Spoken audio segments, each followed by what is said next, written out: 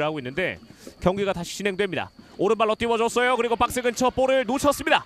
그리고 수비에 클리어. 측면 쪽 지금 선수가 또 한 명 쓰러져 있는데요.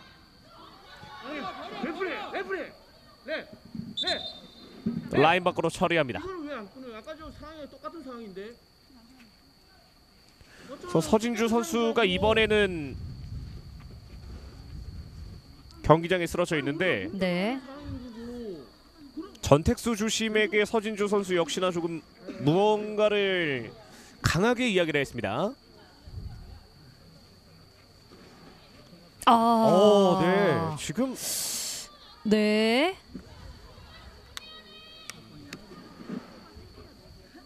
지금 이 장면은 조금 경기가 종료된 이후에 징계를 또 받을 수도 있는 그런 장면인데요. 네.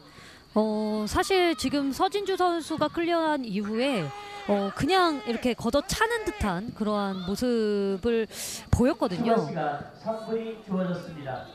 일단은 이 장면에서는 어, 전택수 주심은 보지 못한 것 같고요. 네. 네.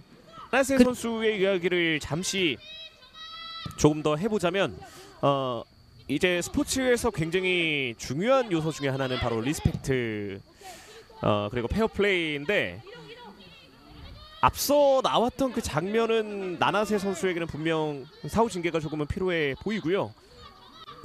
그렇기 때문에 이 창녕 WFC의 입장에서 나나세 선수는 다음 경기에 출전을 하지 못하게 될 수도 있습니다.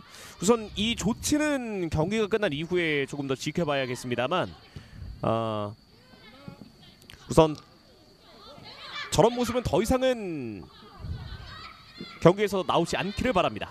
네, 그렇습니다.